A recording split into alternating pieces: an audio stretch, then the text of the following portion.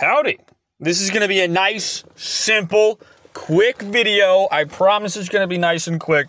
I'm not going to go into a huge rant where I quote three whole chapters of the Bible like the last time I did one of these videos. This one will be nice and simple.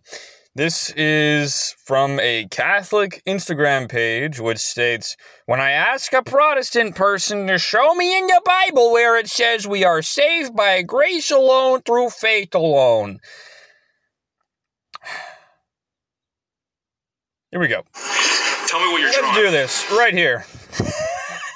I, I, had to do it. Ephesians 2 1 through 10. As for you, you were dead in your transgressions and sins in which you used to live when you followed the ways of this world and the, of the ruler of the kingdom of the air, the Spirit who is now at work in those who are disobedient. All of us who lived among them at one time, gratifying the cravings of our flesh and following its desires and thoughts, like the rest, we were by nature deserving of wrath, but because of his great love for us, God, who is rich in mercy, made us alive with Christ even when we were dead in transgressions. It is by grace you have been saved. He goes on to repeat that. And God raised us up with Christ and seated us with him in the heavenly realms in Christ Jesus, in order that in the coming ages he might show the incomparable riches of his grace expressed in his kindness to us in Christ Jesus. For it is by grace you have been saved through faith, and this is not from yourselves, it is the gift of God, not by works, so that no one can boast. For we are God's handiwork, created in Christ Jesus to do good works, which God prepared in advance for us to do. Galatians 3 1 through 6. You foolish Galatians, who has bewitched you? Before your very eyes, Jesus Christ was clearly portrayed as crucified.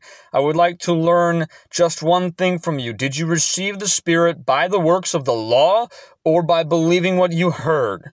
Are you so foolish after beginning by means of the Spirit? Are you now trying to finish by means of the flesh?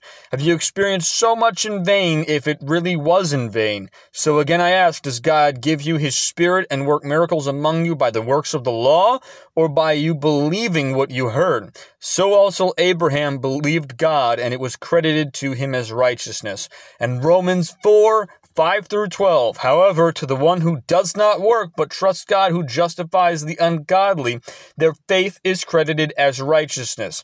David says the same thing when he speaks of the blessedness of the one to whom God credits righteousness apart from works. Blessed are those whose transgressions are forgiven, whose sins are covered. Blessed is the one whose sin is in, uh, whose sin the Lord will never count against them. Is this blessedness only for the circumcised or also for the, uh, for the uncircumcised? We have been saying that Abraham's faith was credited to him as righteousness. Under what circumstances was it credited? Was it after he was circumcised or before? It was not after, but before. And he received circumcision as a sign a seal of the righteousness that he had by faith while he was still uncircumcised. So then he is the father of all who believe but have not been circumcised in order that unright in order that righteousness might be credited to them. And he is then also the father of the circumcised who not only are circumcised but who also follow in the footsteps of the faith that our father Abraham had before he was circumcised. Every single one of those scriptures makes it very plain and clear that we are not saved by any works or by any traditions or by any praying of the rosaries or by going to freaking purgatory or by praying to any of the saints or by going to mass or by getting baptized. We're not saved through any of those actions. We are saved because God graciously gives us faith, not of our own will or ability to choose to do so, because we were dead in our transgressions, as is in the first verse of Ephesians 2. As for you, you were dead in your transgressions and sins. And later on it says, For it is by grace you have been saved through faith, and it is not from yourselves. It is the gift of God, not by works, so that no one can boast. For we are God's handiwork, created in Christ Jesus to do good works, which God prepared in advance for us to do. Yes, we have to do things afterwards, okay? No self respecting Christian is going to claim that you can just claim that you believe and then experience no spiritual fruit. Spiritual fruit, though, is not salvation, it is evidence of salvation. The fruit of the Spirit, which are the characteristics that Christians embody once they are saved, and the profession of their faith are signs that they have faith and that they are saved, not the things that actually offer them salvation. So, no, you don't need to be baptized to be saved. You don't need to partake in communion to be saved. That's evident as is clearly portrayed from the thief on the cross. All that is required to be saved is to put your faith in Jesus. However, if you do love Jesus, you will do as he commands. And evidence of your love for Christ and evidence of your salvation will be made fruitful and will be made evident through the doing of what Christ commands, going out into all the world, making disciples, obeying the law, and repenting of your sins. That does not give you salvation. That is evidence of salvation. If you want more context and a longer series of verses that talks about faith, and how it is by faith that people were saved and how by faith they were given the ability to do things by God, go read all of Hebrews 11. And if you ever get hung up on the fact that the Bible doesn't specifically say alone, as in by grace alone through faith alone, in Scripture, you really don't want to play that game because there's nothing in the Bible that talks about purgatory. There's nothing in the Bible that suggests that Jesus Christ told his disciples to literally eat his blood and his literal to literally eat his literal flesh and his literal blood for drink. There's nothing in the Bible that says you should pray to Mary. And there's nothing in the Bible that says you should pray to dead saints. In fact, it condemns that when Samuel is brought back from the dead in terms of a spiritual seance, and he tells the person who asked him to bring him back that he is cursed because he has disturbed the dead.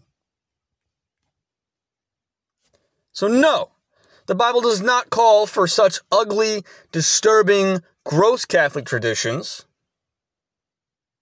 or Orthodox traditions, or traditions in general.